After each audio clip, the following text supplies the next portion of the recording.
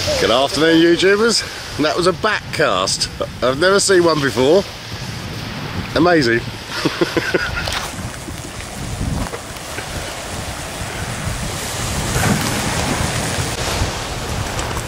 right, hello, YouTubers. Uh, we're back again with Paul Humble.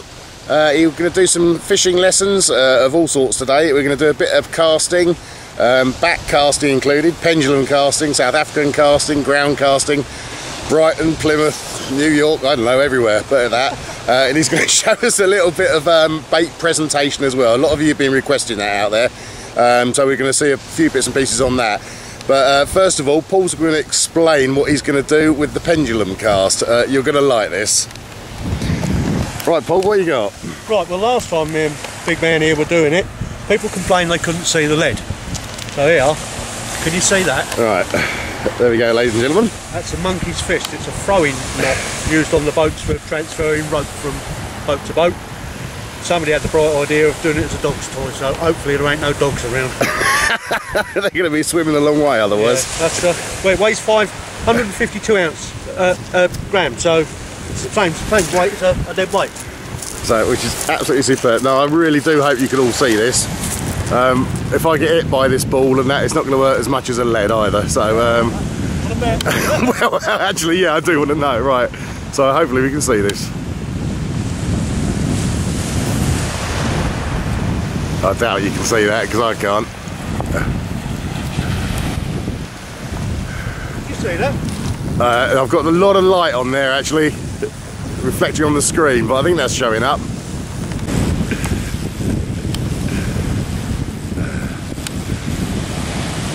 Alright, he's trying to actually knock the fish out, I think.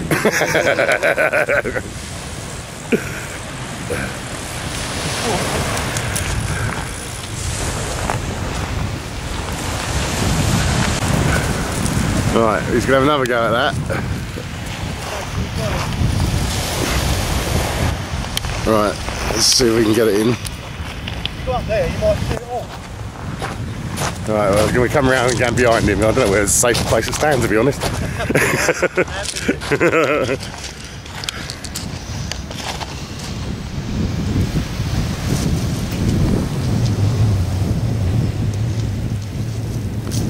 Right, it's obviously not getting the distance of a um, normal weight. 'cause It's not exactly aerodynamic.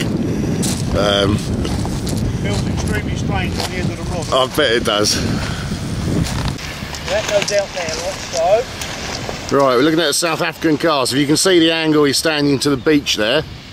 Round. Over your shoulder. And that really is sort of, that's basically the, the, the end of a uh, pendulum cast, isn't it?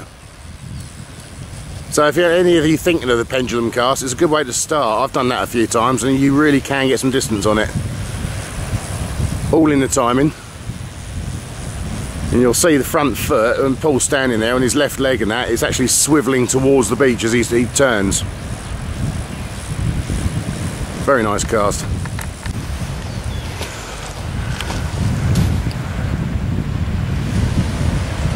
Right, we can see the uh, the angle of the dangle there.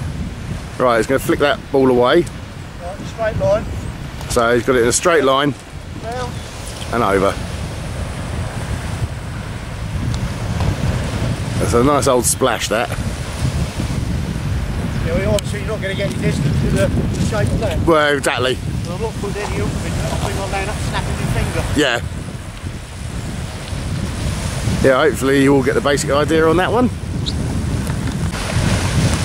So, what you got next for us then, Paul? Well, they call it the Brighton cast or the Dover cast. Right, the Brighton or Dover. It's the one that they use when they're very limited in their uh, space. Right, so as you can see there, he's laid the rod tip away from him and the ball actually towards him. So, the rod tip. so it's underneath the rod tip. When you pull it over, you start pressing the rod. Like so.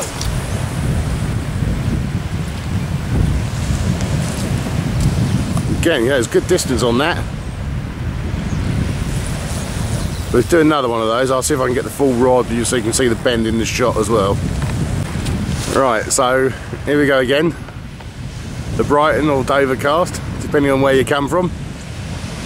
So you can see the drop. Yeah, Paul go. Keep the drop the same. every time you cast, it will drop the same, and you'll get the same before you start mucking about with the length of the drop. And it alters all your timing and everything, and you start uh, jerking and losing your bait and everything.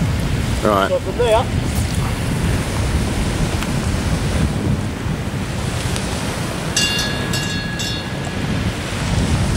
Okay, nice couple of demos there. Brighton or Dover cast for limited space. Okay, well Paul's going to just show us the pendulum cast, just the initial stages. He's not actually going to cast out here. right, so from there, push it out.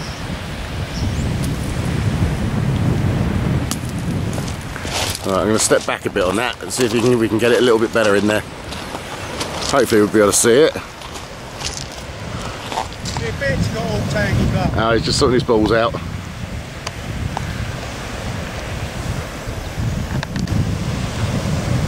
Right, well hopefully you can see that.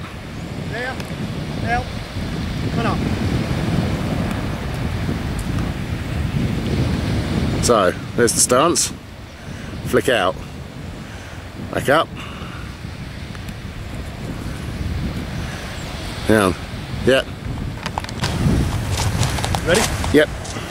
When that, as you can see from the the footage, when that ball reaches its highest point, it then becomes a neutral on the rod tip. You can't feel it.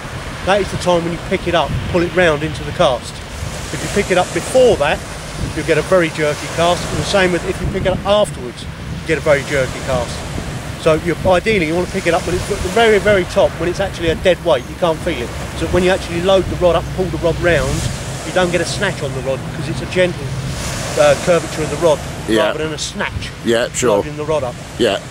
Okay, excellent stuff. Yeah. Right, this is a um, a Mr. Humble cast.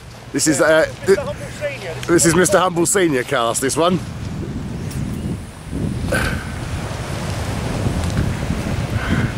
I think that's yep, an overhead clunk. Seems to work.